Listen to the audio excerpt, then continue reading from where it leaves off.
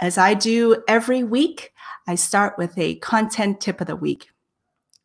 And this week, I wanted to talk about refreshing your content because I got to a point where I had reached this is going to be my 20th LinkedIn Live show.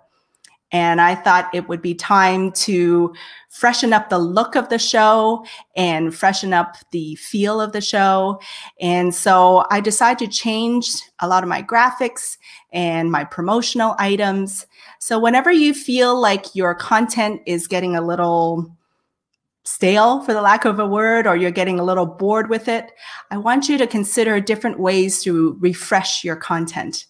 And one of the things you could do is change up your colors or do a different color scheme, change up your fonts and different styles of fonts. You could also change up graphics, right? Make a new, fresh look for your content.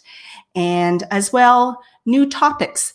Even if you're in HR, let's say you've been talking about talent management. So maybe switch up to another passion of yours. And maybe that's all about employee engagement and so forth.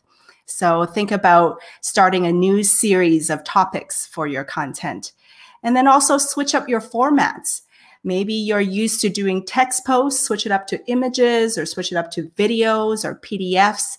So whenever you feel like you're a little lost for inspiration or you feel like your content is getting a little redundant or repetitive, switch it up and refresh it with new colors, new fonts, new styles, new formats, and new topics.